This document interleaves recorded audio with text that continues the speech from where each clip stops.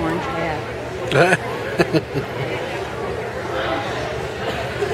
What's in the other room over there? Just grooming? I think so. Maybe obedience. I'm not sure.